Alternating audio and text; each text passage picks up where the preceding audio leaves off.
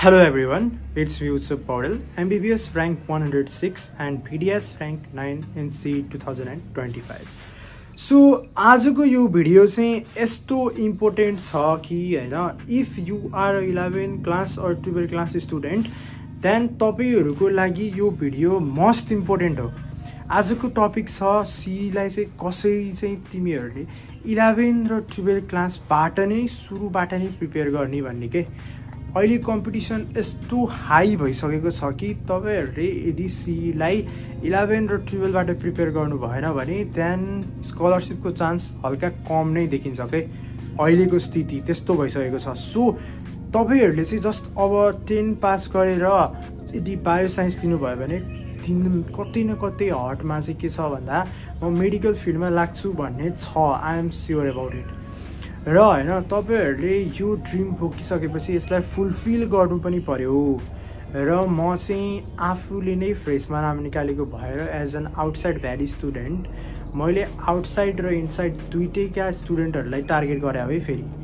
But मैले यो भनिहालेँ आउटसाइड भ्यालीका स्टुडेन्टहरूको लागि पनि यो भिडियो हो बिकज अझै लेस अपर्च्युनिटी पाएका हुन्छौँ हामीहरूले र हामीहरू चाहिँ अझै कम एजुकेटेड हुन्छौँ about the field of entrance हामीलाई इन्ट्रान्सको दुनियाँमा के चल्दैछ नै एकदमै लेट थाहा हुन्छ। ओके लेट्स स्टार्ट म चाहिँ दुईवटा सिनारियो इन्ट्रोड्युस गर्न चाहन्छु। सबभन्दा सुरुको सिनारियो चाहिँ के भन्दाखेरि एउटा यस्तो स्टुडेन्ट जसले आफ्नो इलेभेनलाई त राम्ररी नै प्रिपेयर गरेर भ्यायो।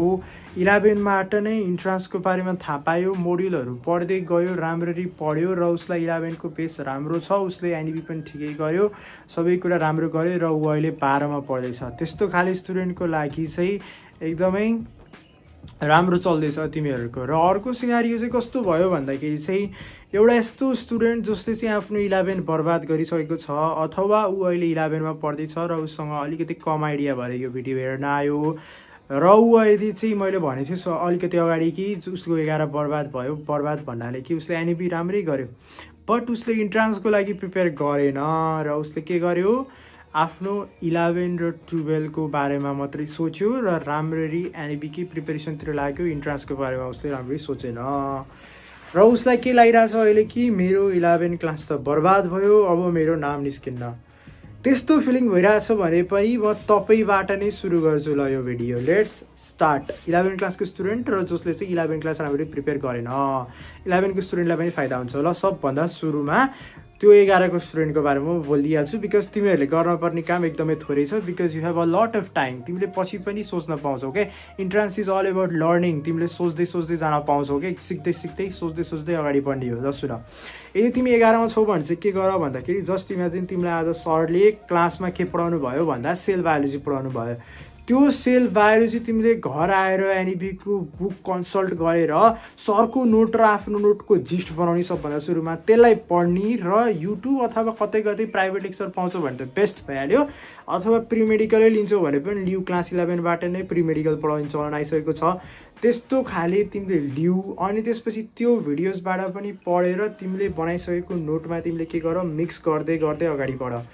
तिमीले त्यसरी बनाएका नोटहरू एकदमै बवाल नोट भइसकेका हुन्छन्। Now you don't need to worry about it त्यही नोट तिम्रो सीसम्म काम लाग्छ। र तिमीले के गर्ने भन्दा मोड्युल किन्न सक्छौ अथवा एभाइलेबल बनाउन सक्छौ भने मोड्युलको क्वेसन पनि हल्का हल्का गर। It will be very effective for you ल सुन। अर्को तिमी यदि इलेभेनमा खासै प्रिपेयर नगरिकन टुवेल्भमा आइसकेको स्टुडेन्ट छ भने तिम्रो लागि हुनै हो यो भिडियो। म तिम्रै किसिमको विद्यार्थी इलेभेनमा मैले इन्ट्रान्सको लागि सोचिनँ because I didn't had that much idea. है मेरो एउटा साथीले गर्दा चाहिँ मैले स्टार्ट गरेको थिएँ तर ह्युज रेस्पेक्ट फर हिम। र सुन। के भयो भन्दाखेरि चाहिँ तिमीले यदि इलेभेनमा राम्रो इन्ट्रान्सको बारेमा प्रिपेयर गरेनौ भने अब तिमी बाह्रमा आइसकेपछि तिमीले इलेभेन क्लासको वरि गर्ने होइन। तिमीले इलेभेनको बारेमा सोच्ने होइन। तिमीले के गर्ने हो भन्दाखेरि टुवेल्भ क्लासकै टपिकलाई इन्ट्रान्स बेसमा भ्याइदिने हो भ्याइदिइहाल्ने। बाह्र सकेको भोलिपल्ट तिमीले इलेभेनको बुकहरू निकालेर पढ्न थालिहाल्नुपर्छ क्या एकदम एस गरिहाल्नुपर्छ।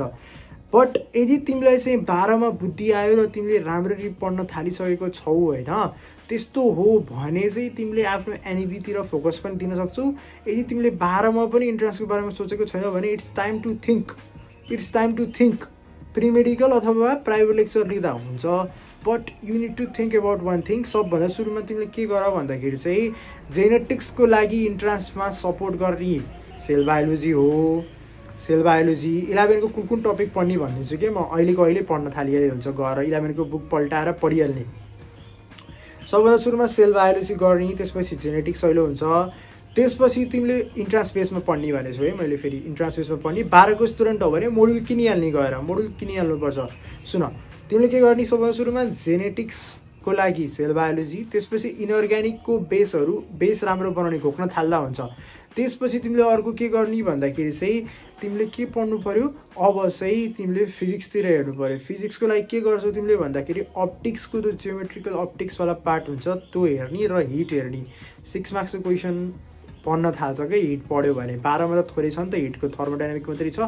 हिट गऱ्यो भने सिक्स मार्क्स आउन थाल्छ कि तिमीले मक टेस्ट पनि दिनुपर्छ कि फेरि बाह्रमा आइसकेपछि स्टुडेन्टले र सुन तिमीले अर्को चाहिँ के गर्ने भन्दाखेरि यसरी तिमीले अरू अर्को चाहिँ के गर्नु पऱ्यो भन्दाखेरि चाहिँ तिमीले केमिस्ट्रीको चाहिँ इनअर्ग्यानिक पढ्दै आयो। अर्ग्यानिक त बाह्रमा धेरै छ तिमीले त्यतातिर पढ्नुपर्छ। र अर्को चाहिँ के पढ तिमीले भन्दाखेरि चाहिँ तिमीले फिजिक्सको लागि चाहिँ तिमीले हिटहरूतिर आयो र जुलोजीको चाहिँ तिमीले फाइलम भ्याइदिइहाल्ने यो एघार बाह्रमै फाइलम भ्याउनुपर्छ। नोट सेप बनाएर राख पछि पढ्दा नि हुन्छ। कमल नेपाल सरको लेक्चरहरू सर्च गरेर आनन्दले पढेर फाइलम भ्याइहाल्ने। ओके। त्यसपछि तिम्रो कुरा के आयो भन्दाखेरि चाहिँ यति भएपछि तिमीले एघारको कुरा चाहिँ सकायो। यति चाहिँ तिमीले एकदमै ध्यान दिएर आजैबाट गर्न थाल्यौ भने अहिले के छ? अहिले सायद मङ्सिर चल्दैछ राइट ओके मङ्सिर चल्दैछ भनेपछि तिमीले के गर्नु पऱ्यो भन्दाखेरि तिमीले अहिले चाहिँ मैले भनेको टपिक छिट छिटो गरेर लेक्चरहरू युट्युबबाट खोजेर अथवा केही गरेर पत्ता लगाएर मोडुलबाट पनि भ्याउनु पऱ्यो यति गरेपछि तिम्रो एकदमै एकदमै फाइदा हुन्छ तिमीलाई। ओके तिमी धेरै नै अगाडि आइसक्यौ अब। अब तिमीले एघारको बारेमा नसोच्दा पनि हुन्छ। यदि तिमीले पुसतिर हेर्दैछौ यो भिडियो भने डोन्ट वरी अबाउट इट तिमीले क्लास टुवेल्भकै टपिकलाई क्लियर बनाएर पढ्ने हो। क्लास टुवेल्भकै बेसलाई बवाल बनाउनु पऱ्यो तिमीले। मोडुलबाट पनि पढ्नु पऱ्यो यताबाट पनि पढ्नु पऱ्यो उताबाट पनि पढ्नु पऱ्यो जस्ट इमेजिन तिमीले प्रिमेडिकल लिएको छैनौ भने then you're in a big trouble अहिले भने पनि प्रिमेडिकल लिँदा हुन्छ। इट्स नेभर लेट प्रिमेडिकल लिन मन छैन भने प्राइभेट लेक्चर लिऊ। पछिसम्म पनि काम लाग्ने भयो। सिईसम्मै काम लाग्ने भयो। प्राइभेट लेक्चर लिऊ। अनि त्यसपछि तिमीले के गर भन्दाखेरि चाहिँ त्यो लेक्चर प्रिमेडिकलबाट चाहिँ नोट बनाउने। है? नोट बनाउने। त्यो नोटलाई चाहिँ तिमीले के गर्ने भन्दाखेरि चाहिँ बाह्रको टपिकसँग बाह्रकै लिन थाल्यो भने बाह्रको टपिकसँग कन्सल्ट गर्ने एनबी बुकसँग मिसाउने अनि त्यसपछि मोडुलतिर जाने मोडुलबाट क्वेसन गर्ने। त्यो क्वेसन गर्दाखेरि जुन जुन कुरा छुट्छ त्यसको हल्का थ्योरी मोडुलमा हेर्ने र तिम्रो नोटमा टिप्ने। अनि त्यसपछि तिमीले के गर्ने? टेस्ट दिन जाने। बाह्रमा छौ भने सधैँ टेस्ट दिन जाऊ र टेस्ट दिइसकेपछि तिमीले के गर भन्दा टेस्टमा भएका मिस्टेकहरूलाई एनालाइज गरेर एउटा मिस्टेक कपी बनाऊ। बाह्रको सुरुदेखि नै टेस्ट दिएको एकदमै राम्रो।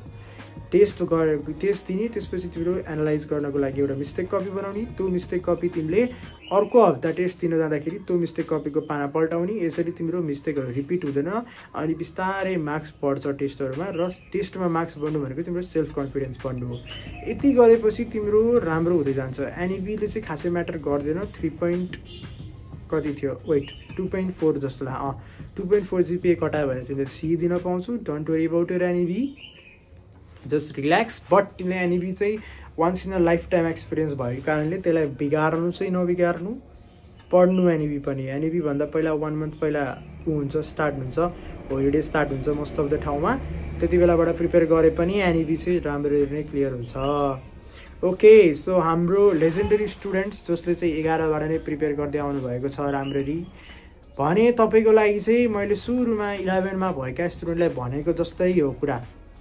तपाईँहरूले आनन्दले फ्रेस माइन्डमा कलेजमा पढाएको कुरालाई आएर प्राइभेट लेक्चर अथवा युट्युब कतैबाट कन्सल्ट गर्ने त्यसपछि चाहिँ त्यसको नोट बनाउने एनइबीको बुकसँग मिक्स गर्ने त्यसरी तपाईँको एनइबीको टर्मिनल पनि केही फरक पर्दैन। आनन्दले गर्दा हुन्छ।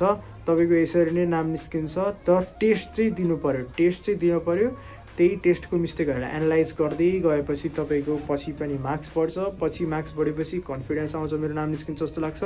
And after that you can crack the exam यसरी चाहिँ मैले अब कन्क्लुजन भन्न थाल्छु।